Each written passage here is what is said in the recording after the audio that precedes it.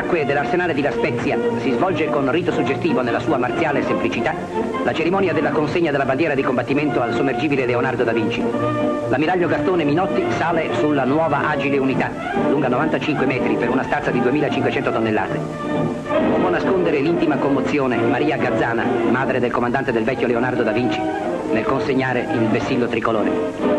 Il nuovo scafo ripete il nome del sottomarino che nell'ultima guerra in cento episodi di epico valore si coprì di gloria nell'Oceano Atlantico.